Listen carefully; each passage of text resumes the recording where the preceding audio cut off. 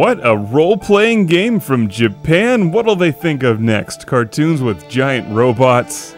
Life blossoms and grows everywhere. Someday, I would like to go there myself. It's not that Mimana Iyar Chronicle stands out from the sea of thousands of other Japanese role playing games. What makes this game interesting is that it's on the PSP, because frankly, the PSP does not get that many of these games. There's a lot of them for the DS, so it's nice when any RPG style game makes its way to the Sony PlayStation Portable. And while this one is not really exciting, it's a nice way to pass the time. Watch out, guys! I'm pretty amazing, you know.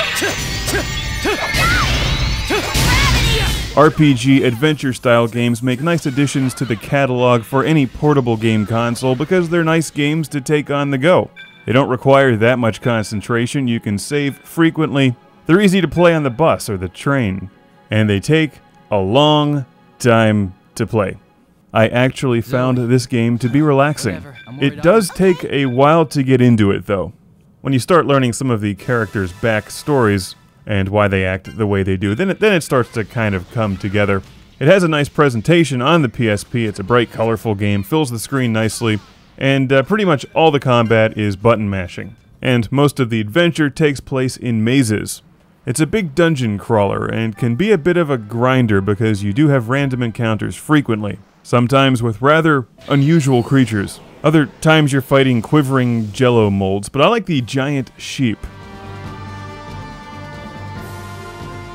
Watch out, guys! I'm pretty amazing, you know. Yeah! Yeah!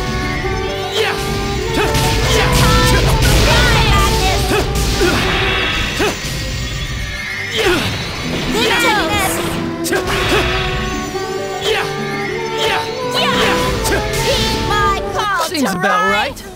While you can pull off magic spells and stuff, you'll spend most of your time just hacking and slashing everything that gets in your way. You start the game off with two characters, Crais and Sophie. It starts off the whole story. Sophie hires Crais, who's a mercenary. All right. Let's uh, go meet your client.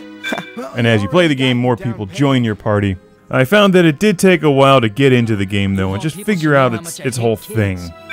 So what? And you wonder why I hate kids.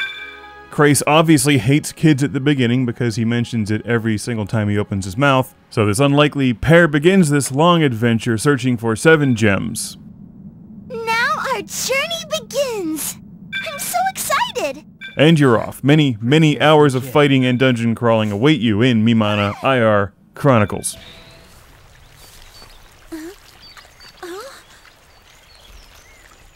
Now that's an awkward moment. Lady, your eyeballs are bigger than your feet. The story is told through some anime cutscenes, mostly dialogue spoken and written out on the screen. You saw me naked. Uh, well, you see, this is really just a big mistake. Yeah, so so what it really comes down to is this game has chicks with green hair, sexual innuendo, and skeletons with swords, wrapped within a Japanese RPG style adventure game with some anime. If all of that appeals to you, Mimana Iyar Chronicles is your game. Did I mention there's lots of dungeon crawling? Play this game with a pencil and paper. Make make maps along the way so you don't backtrack. I made that mistake a few times. And it takes a while to walk anywhere because you're constantly fighting giant lobsters and things. So if you have a PSP, you can find this one on the PlayStation Network available for download. Now, return the Master Key. Feigned ignorance will not help you. And there you have it, a very straightforward game where you hack and slash your way through enemies, including giant chickens. I think the designers were hungry when they made this game. Seriously, think about it. You're being attacked by sheep, chickens, and jello. That's like a three course meal. They should have finished it off with a giant bottle of root beer.